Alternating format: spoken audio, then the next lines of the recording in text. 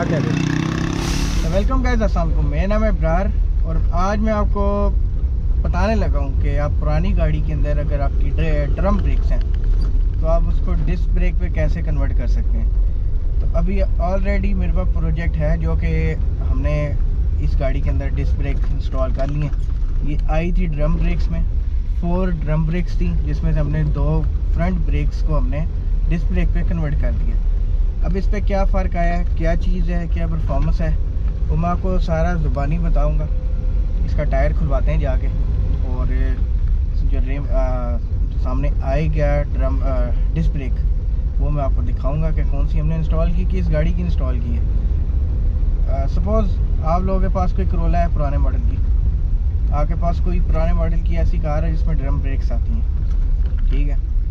वो अब ज़ाहरी बात है कि ये ड्रम ब्रेक्स इतनी एफिशिएंट नहीं होती राइट काफ़ी लोगों को पता होगा कि, जो यूज़ कर रहे हैं, उनको पता होगा कि ये इतनी एफिशिएंट नहीं होती ड्रम ब्रेक्स।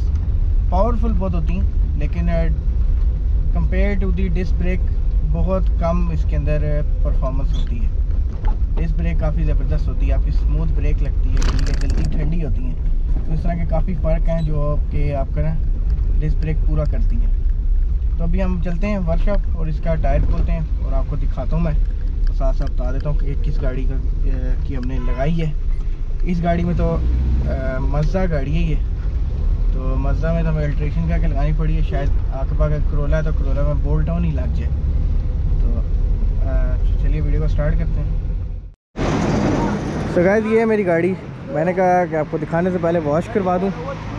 और ये मज़दा 1500 1969 मॉडल है। इसका सामान वगैरह जो सारा लगा है टोटल जैनवन है। खाली रीपेंट हुई भी है। और अभी इसका हम करते हैं, शुरू।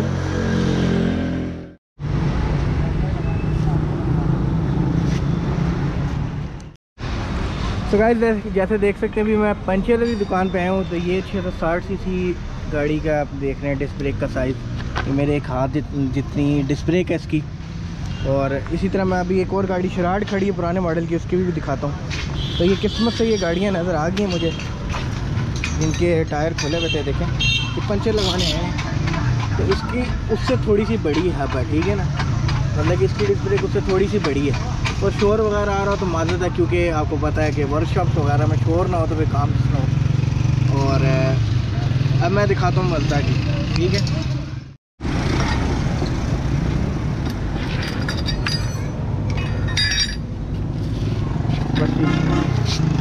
क्या कह रहे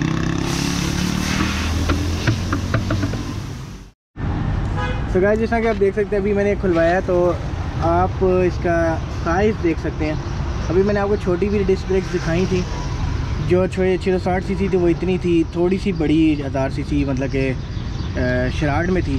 और ये काफ़ी बड़ी डिस्क ब्रेक है, मैं इतना एक्सपेक्ट नहीं किया था, क्योंकि मैं पहली बार ख़ुद सही तरह देख रहा हूँ। टायर खुलवाने की इतनी नौबत नहीं पड़ी तो इसलिए मैंने भी आज पहली बार देखा है। अब इसका कैलीबर देखें, कैलीबर भी काफ़ी चौड़ा है, जैसा मेरा हाथ देख लें। तो काफ़ी मतलब कि पावरफुल ब्रेक है। और अब ये ब्रेक किस गाड़ी की इंस्टॉल की गई है?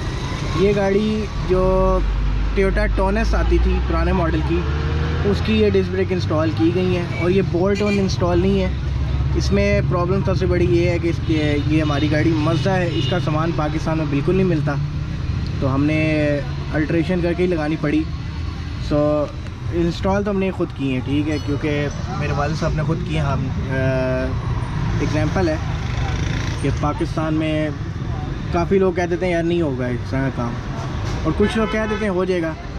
अब ये चीज़ अपनी थी, हमने ख़ुद की और बड़े तमल से इतमान से की, क्योंकि ब्रेक ही है जो आपकी गाड़ी को, आपकी जान को संभाल सकती है। अभी आप इसके अंदर ऑप्शन देख सकते हैं कि ये मज़दा की सबसे गंदी पीसीडी आती थी। पुराने मॉडल की जितनी गाड़ियाँ थी मिट्सबिशी हो गई मज़दा हो गई निशान हो गई, इनकी पीसीडी सबसे गंदी होती थी कंपेयर टू दी टोयोटा इसमें ये सिस्टम था कि ये अब 120 पीसीडी आती है, जो कि पाकिस्तान में कोई रिम मिलता ही नहीं है इसका। तो इसके अंदर आपको एक सौ चौदह पी की भी ऑप्शन मिल जाती है। तो ये चीज़ अच्छी है कि आप इसके बोल्ट चेंज कर सकते हैं साइज़ चेंज कर सकते हैं। तो एक चीज़ ये इसके अंदर हमें एक ऑप्शन मिल गई है एक्स्ट्रा कि जिनके रिम चेंज नहीं होते थे हमें कोई ख़राब का काम करवाने की ज़रूरत नहीं है बस बोल्ट ऑन आप उसको सेटिंग कर एडजस्टमेंट करवा सकते हैं कि एक सौ चौदह पी सी डी भी आप इसको करवा सकते हैं।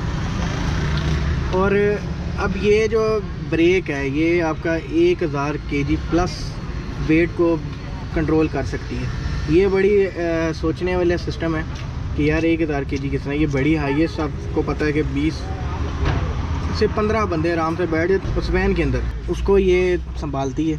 फ्रंट पे डिस्क आती है बैक पे आपके आ जाती है ड्रम ब्रेक्स। इसी में भी ड्रम ब्रेक्स हैं। फिर सब दूसरी चीज़ मैं आपको बता दूँ उसका ब्रे, ब्रेक सिलेंडर। वो मैं आपको दिखाता हूँ साथ तो आपको समझ आएगी। फिर आ जाता जी ब्रेक सिलेंडर। ब्रेक सिलेंडर इसका पहले हमने इस पुराने वाले पे सेटिंग की थी लेकिन इतनी उसने सताया इतना सताया कि हर दो दिन बाद पैडल बैठ जाए।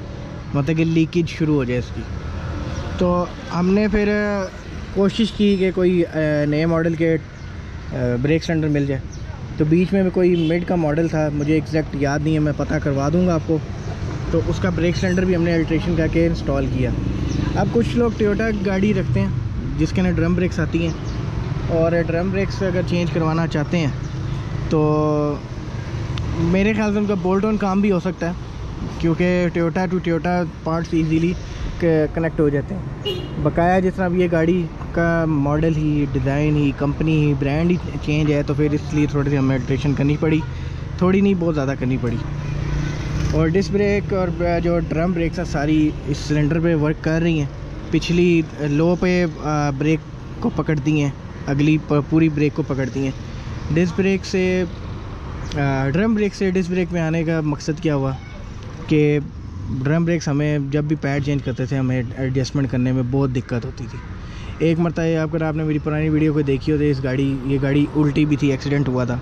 तो वो ड्रम ब्रेक का एक टायर जो ड्रम था, चक मार गया, जिसकी वजह से गाड़ी आउट ऑफ़ कंट्रोल हुई और उलट गई। यही गाड़ी। जानी नुकसान तो नहीं हुआ, गाड़ी का काफ़ी ज़्यादा नुकसान हुआ था, जो कि हमने दोबारा प्रिपेयर कर लिया। और फिर हमने डिस्क ब्रेक डाली। डिस्क ब्रेक एफिशिएंट काफ़ी होती हैं और ठंडी बहुत जल्दी होती हैं। ये बहुत सोचने वाला सीन है। मैं आपको दोबारा डिस्क ब्रेक की तरफ़ लेके जाता हूँ। तो अगर आप इसके अंदर देख लें, इसके अंदर आपको एक फ़ैन सिस्टम मिलता है जितना कि ये जनरेटर्स अगर आपने देखे हैं, कोई छोटे पाँच के वी ए के, तीन के वी के, उनमें रेडिएटर और फ़ैन नहीं आता, ठीक है? और उसके अंदर एक, जो केक के अंदर एक मोटर होती है उसी के ऊपर एक पंखा बनाया होता है। इसी तरह होंडा सेवेंटी या वन टू फाइव ले लें, उनके अंदर कट होते हैं, जो कि एयर को क्रॉसिंग करते हैं। एयर को जब कट करते हैं तो उसमें कूलेंट कूल एक जो कहते हैं ना, वो तैयार होती है। इसमें भी यही सिस्टम है कि इसको ठंडी करने के लिए इन्होंने बीच में ये गैप पॉइंट दिए हैं। इसी तरह महँगी डिस्प्ले को चले उनके अंदर यहाँ पर सर्कल्स होते हैं। काफ़ी लोग कहते हैं डिज़ाइन दिया नहीं डिज़ाइन नहीं होता। वो डिस्प्ले को जल्दी ठंडे करने के लिए एयर क्रॉसिंग की एक सिस्टम दिया होता है। ठीक है वेंटिलेशन सिस्टम दिया होता है तो ये है सारा सिस्टम और जो कि मैंने बताना था। अगर आप लोगों को मेरी इन्फॉर्मेशन गलत लगती है तो आप विकीपीडिया भी कर सकते हैं। क्योंकि मैंने भी इंटरनेट से सीखा और थोड़े से एक्सपर्ट्स अल्ट्रेशन ख़ुद जो हमारे वाल साहब, भाई कज़न हैं, उनसे सीख के सीखा। तो मैं कोई इतना एक्सपर्ट नहीं हूँ। लेकिन अगर आप भी लगवाना चाहते हैं, आप ये लगवा सकते हैं और मैं रिकमेंड करता हूँ, ये आप लगवाएँ। मुझे काफ़ी मैसेज आते हैं कि हम किस गाड़ी के लगवाएँ। टोयोटा टॉनस का लगवा लें मार्ट अगर आपके पास करोला है तो मार्ट टू का ढूंढ के लगवा लें। तो इस तरह की कोई गाड़ी मिलती जुलती है तो उसके आपके पार्ट्स बोल्ट लग सकते हैं। अल्ट्रेशन का मुझे इतना आइडिया नहीं है और अल्ट्रेशन मैं आपको समझा दूँगा कि नेक्स्ट वीडियो में कि अल्ट्रेशन हमने कहाँ पे की थी कहाँ पे मैं मसला आया था आ, आपको भी आ सकता है। तो ये सीन था और बाय द वे मैंने आपको बता दिया कि पिछला ड्रामा और अगली डिस्क है। उम्मीद करता हूँ आपको ये वीडियो थोड़ी सी इन्फॉर्मेशन वाली लगी होगी। इसी तरह हम अपनी मज़ा का काफ़ी सामान आपको दिखाते रहेंगे साथ साथ कि हमने अपनी मज़ा में क्या क्या अल्ट्रेशन किए हैं। अभी इसके इंजन गेयर बॉक्स और एक्सल शाफ्ट इसका का सारा सिस्टम चेंज हुआ हुआ है। पावर ये हार्ड स्टेयरिंग थी, इसको पावर स्टेयरिंग में कन्वर्ट किया गया तो वो भी आपको सिस्टम सारा बताएँगे। और अब ये वीडियो पसंद आया तो इसको ज़्यादा से ज़्यादा शेयर कीजिए, और अगर आपने इस गाड़ी की वीडियो पूरी देखनी है तो बहुत पुरानी मैंने चढ़ाई हुई है, वो भी आप देख सकते हैं मज़ा पंद्रह सौ लिखेंगे गूगल पे, मेरी वीडियोस ही टॉप पर आएँगी।